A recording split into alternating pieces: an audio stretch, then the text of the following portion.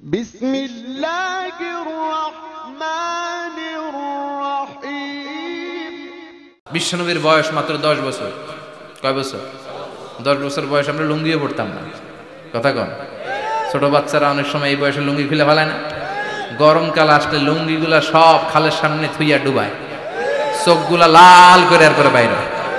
আছে না নাই কিন্তু বিশ্বনবী লুঙ্গি খোলেন না লুঙ্গি পড়ে থাকে কাবা ঘর নির্মাণের কাজ শুরু হলো, বিশ্বনবী পাথর টানতে শুরু করলেন। বিশ্বনবীর বয়সের আট দশ বছরের ছোট বাচ্চারা সবগুলা লুঙ্গি খুলে কান্দে লইছে। সব বাচ্চারা লুঙ্গি খুলে কাঁধে নিয়েছে।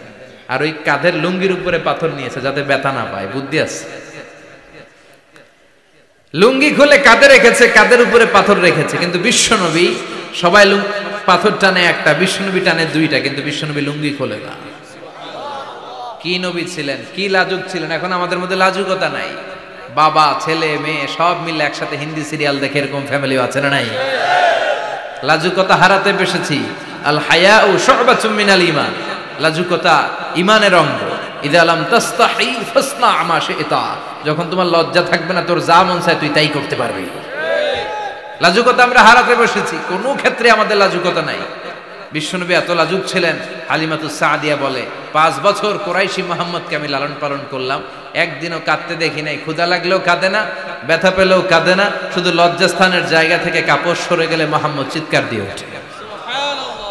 কি লাজুক ছিলেন। বিশ্বনবী পাথর টানে কিন্তু লুঙ্গি খোলা আশেপাশের বন্ধু বান্ধব সব লুঙ্গি খুলে টানতেছে। চাচা আবু তালেব দৃশ্যটা দেখলেন কিরে সবাই লুঙ্গি খোলা এটা লুঙ্গি ছাড়া কেন?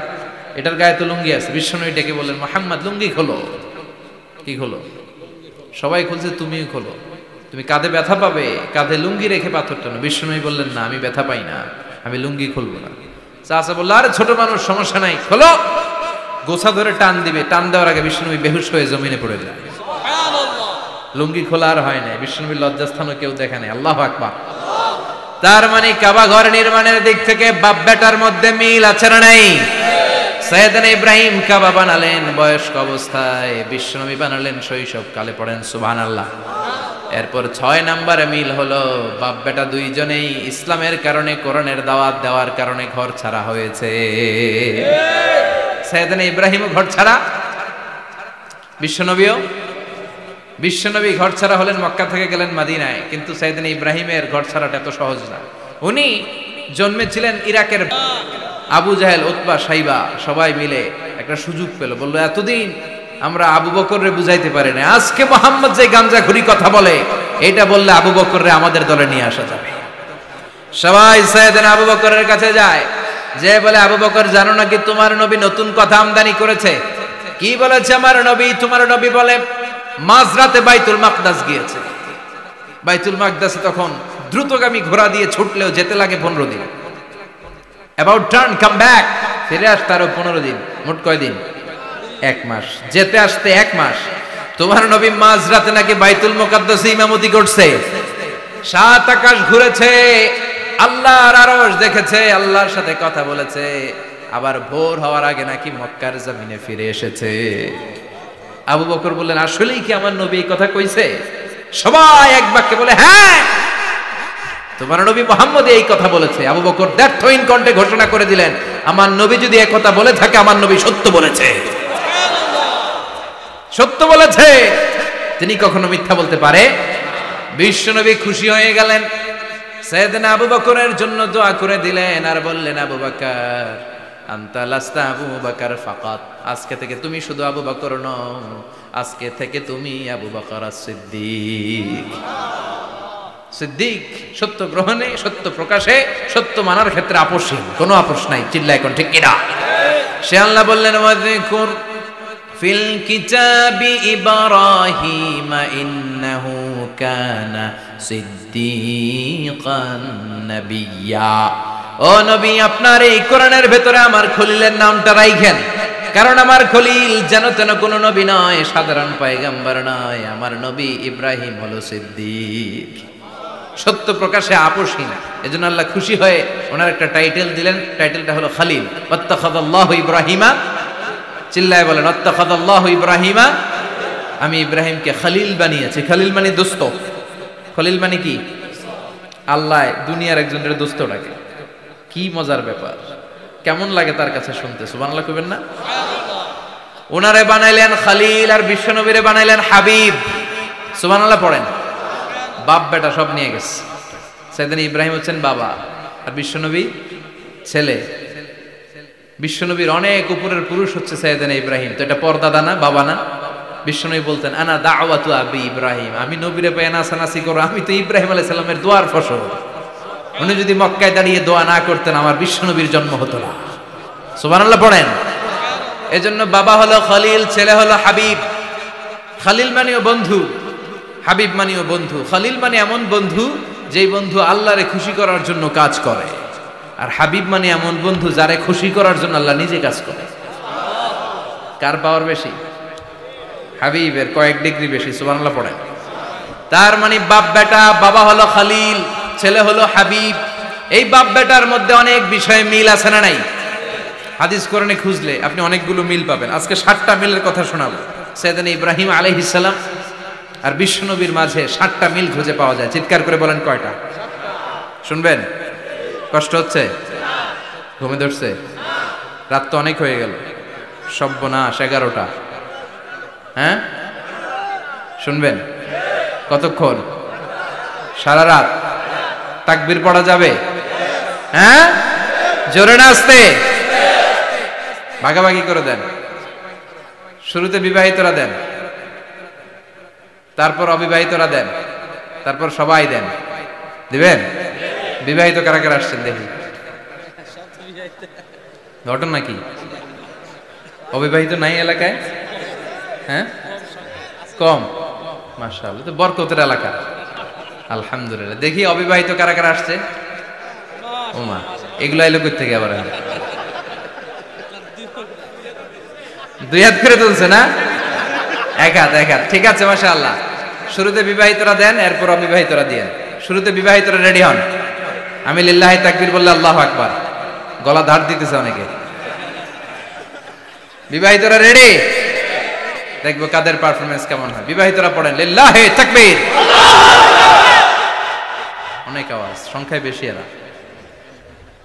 এবার অবিবাহিতদের পালা। হ্যাঁ? অবিবাহিতরা রেডি? দেখি কি অবস্থা এবার অবিবাহিতরা দাও লিল্লাহি তাকবীর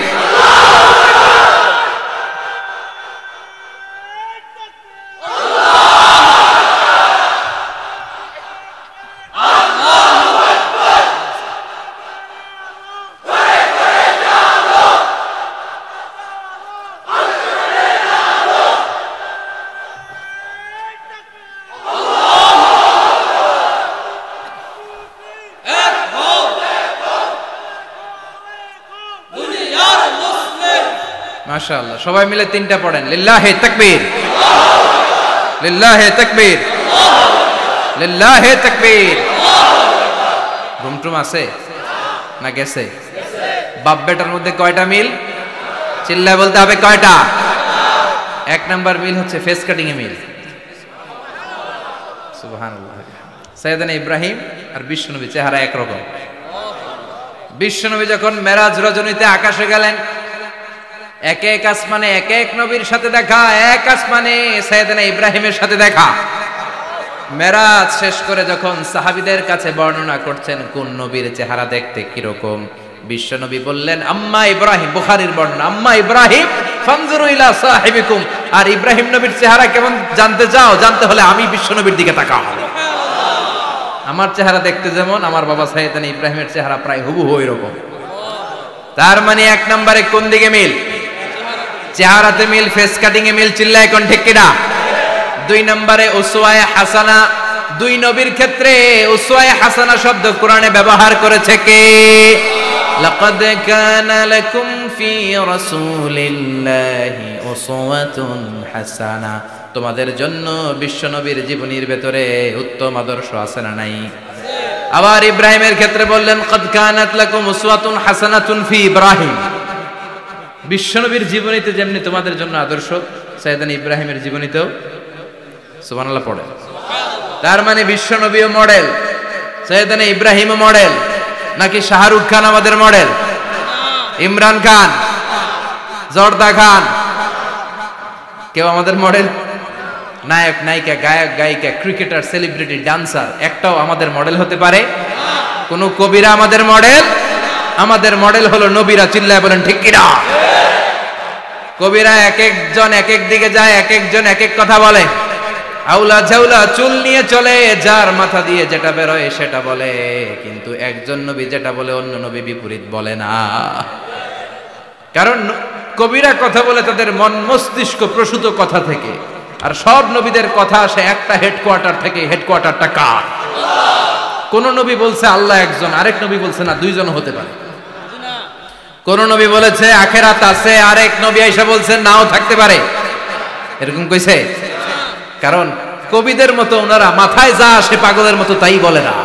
তাদের মাথায় কথা আসে একটা হেডকোয়ার্টার থেকে চিল্লায় বলেন হেডকোয়ার্টারটা কার? আল্লাহ বললেন ওসওয়ায়ে হাসানা, বিশ্বনবী তোমাদের জন্য আদর্শ, সৈয়দনা ইব্রাহিম আদর্শ। তার মানে আদর্শিক দিক থেকে দুই নবীর মিল আছে না নাই? তিন নাম্বার, দুইজন নবী উলুল আজমি মিনার রসুল। এই পৃথিবীতে পাঁচজন নবীকে আল্লাহ শ্রেষ্ঠ নবী বলেছেন। নূহ আলাইহিস সালাম, ইব্রাহিম আলাইহিস সালাম, মুসা আলাইহিস সালাম, ঈসা আলাইহিস সালাম, বিশ্বনবী মুহাম্মদ রাসূলুল্লাহ সাল্লাল্লাহু আলাইহি ওয়াসাল্লাম। এই পাঁচজনের ভিতরে বাপ বেটা আছে না নাই? কথা কর চার নাম্বার মিল হলো বাপ বেটা দুইজনই কাবা বানিয়েছে, আল্লাহু আকবার। সৈয়দনা ইব্রাহিম বানিয়েছে, বয়স্ক অবস্থায় বিশ্বনবী বানিয়েছেন, শৈশবকালে পড়েন, সুবহানাল্লাহ।